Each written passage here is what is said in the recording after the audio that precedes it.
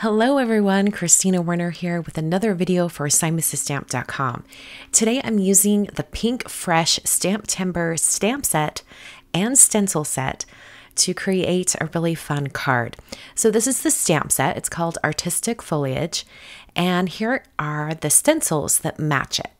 You could definitely use the stamp set on its own, but this stencil set, mm, you can't really use it without the stamps because it, well, I mean, it does have some leaves. Yeah, I guess you could make it look like some tumbling leaves in the wind, but the only way you're going to get the stem and all the little lines connecting the leaves is with the stamp set.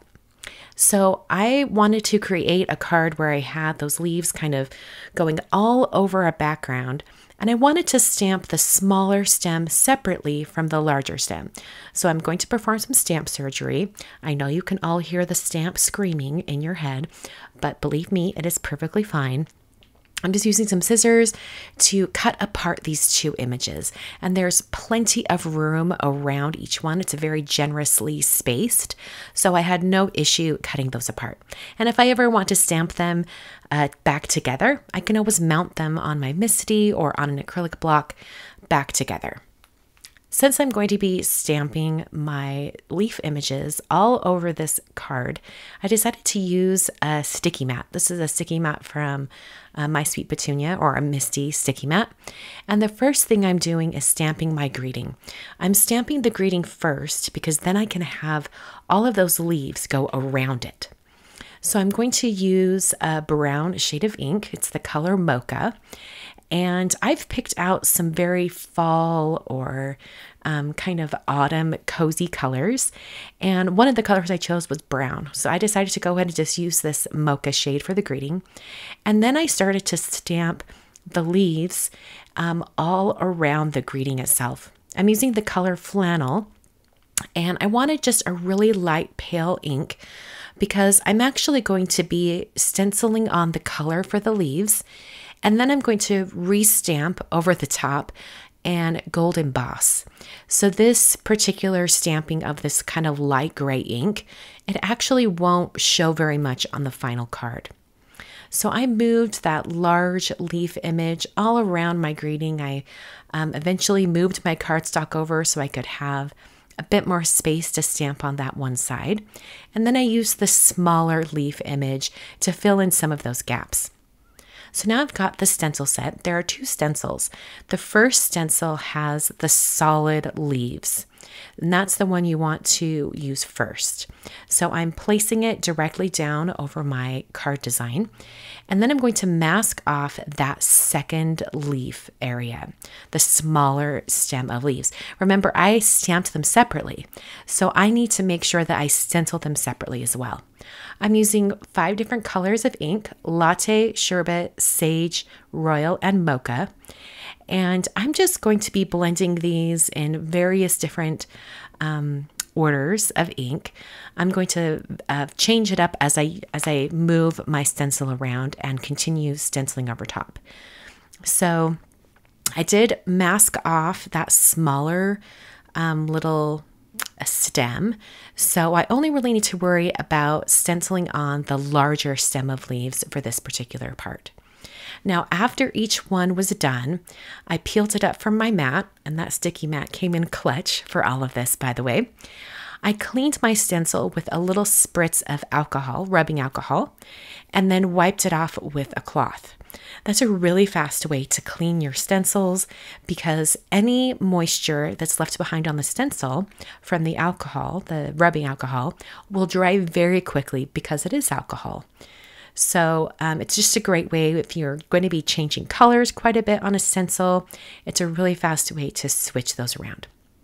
Okay, so after I finish with the larger stem of leaves, then I use the smaller stem and I masked off the larger one so I wouldn't have any areas where I accidentally inked over. And then I stenciled on the ink for the smaller stems. So after I finish the smaller stems background color, um, then I'm actually going to swap out this stencil and I'm going to go to the stencil number two, which is the detail for these leaves. And it's going to add just a little bit of a dark shape in the center of the different leaves. So I'm getting that position just over the top. And when you use this, just a tip for lining it up, look for where the, the, the corners of the leaves that meet a stem, you want those corners to line up with this second stencil. So the darker areas are coming to a point at the very bottom of each leaf. And I just went over those detail areas with the same colors, tried to get a little bit more of an intense color. I did that for the larger stem of leaves and also the smaller stem of leaves. And these images and these images were spaced apart enough that I didn't need to mask any of them off. I was just able to use the stencil as is and just kind of move it around my project. After I had the details stenciled on, I then removed my card design from that sticky mat and I came around with the color mocha on a larger blending brush and just inked up the edges. I thought this would look really, really nice, especially since I'll be doing some gold embossing powder over those leaves and stems. I thought having a darker shade underneath would really make that gold pop. Now, I said embossing powder, and if you are an experienced stamper, you might be thinking, oh, that ink is not dry. And you are correct. The ink that I've just laid down was still pretty wet and juicy, so I used my heat tool to speed along that drying process. And before I move on to stamping the outer line work of the stem of leaves, I wanted to test my cardstock to make sure that it was completely dry. So I'm going to just sprinkle on that embossing powder. This is gilded embossing powder from Brutus Monroe. And then just tap it off and make sure it's not sticking to areas where I don't want it. Now this first test, I was very glad I did it because it was sticking to those areas. So I wiped off the powder with a dry brush heat set it again, tried to speed up those areas that were a little bit more moist. I wanted to get, the, get it completely dry. I applied more anti-static powder and then tested a second time. And this time it worked beautifully. That powder slid right off.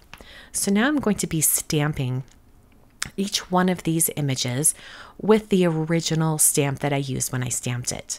So I'm trying to line it up right over that. And I realized pretty quickly that I wasn't going to be able to line it up perfectly. So as I stamp each one of these outlined images, it's going to be just slightly off. So I'm going to lean into that look and I'm not going to worry about getting it precisely placed. I'm just going to go ahead and stamp right over the top, apply some of that gilded embossing powder, and then heat set it with my heat tool. And you can see that it has sort of like an offset, much more free-form look when it's done this way. And I think it really lends itself to the style of the leaves because those leaves are very whimsical and very free-form. So having the detail kind of offset from that coloring looks pretty nice. So I, uh, when I was doing all this stamping, I used um, just a clear piece piece of plastic that was from it was actually the the protective plastic piece from the sticky mat. I used that over top of my project, placed the stamp over top, and then I was able to kind of move that stamp around without it kind of touching the surface of my project. That was a great way to get everything stamped and not possibly have, you know, a little bit of Versamark going in areas where I don't want it. After I had all my embossing done, I used a little bit of scrap cardstock to protect that greeting, and then I uh, sprinkled some water onto my project. Now, I have seen this, I think I saw it many years ago, but I've never tried it myself. But heat embossing with water. I wanted to have some kind of like a splatter look over top of this project. And I wanted it, the splatter to be in gold, but I wanted the gold to match all of that embossing I'd already done.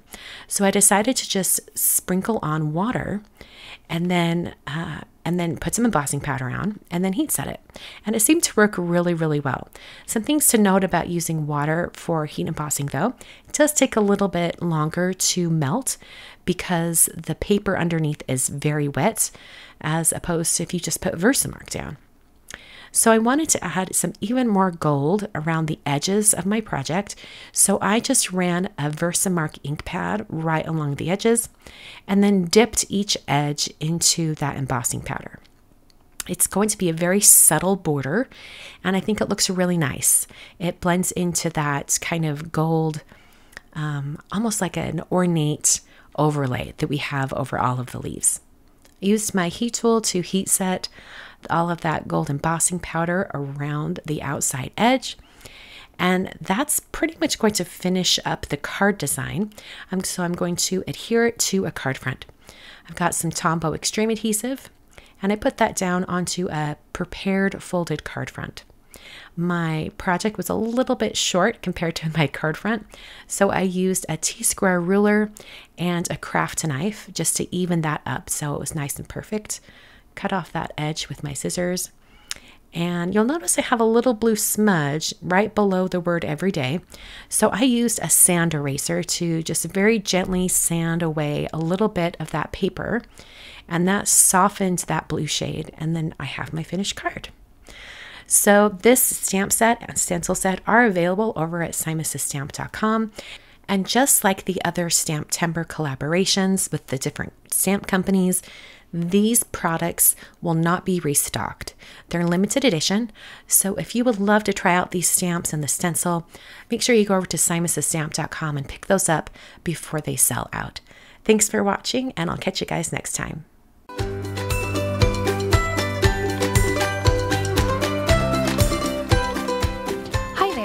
I'm Heidi, Simon's mama and founder at simonsaysstamp.com. Thank you so much for watching our video. If you like what you just saw, be sure to press the thumbs up and subscribe to see more great content.